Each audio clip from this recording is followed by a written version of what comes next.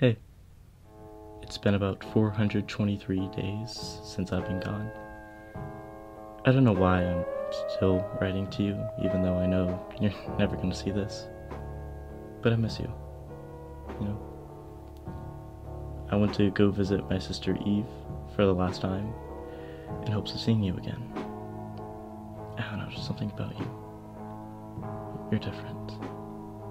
To me, you're still the girl who outshined the sun.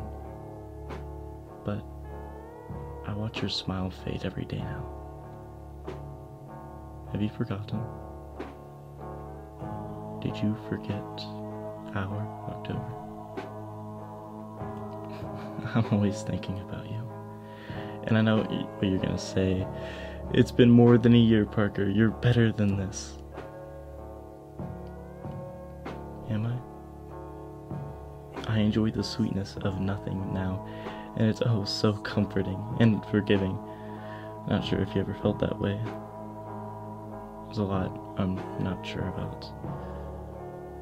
Like, like what if I stayed? Just a bit longer. Would you have called? Would you still draw red marks on your skin? Would you look at me again in the same way you look at him? And I admit, he's perfect. He loves you. Right? I still think of our October. That night you said you loved me too. In that moment, I realized it's always been about you. And it's all so selfish of you. It's all about you. I never really knew you, did I? It was always the happy and easy moments, but never the hard ones. And that's how you and I are the same. I always see glimpses of myself in you. You are the reason why I'm stuck in this never ending limbo, Danielle. I didn't want you to forget about our October. I didn't want you to forget about me. I wish I had never met you. You gave me feelings no one else did. I thought love was supposed to feel that way. But I was way too over my head because of you.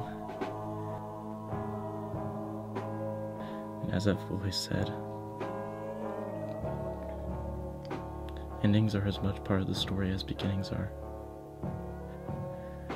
But it's not like it matters anymore since it's been 1,964 days since I've been gone. Now you are too. I could say that I hate you, but this is my last act. For closure, I'm letting you go so I can pass on. Goodbye, Danielle. Wishing you well wherever and whoever you are now. Parker Luna.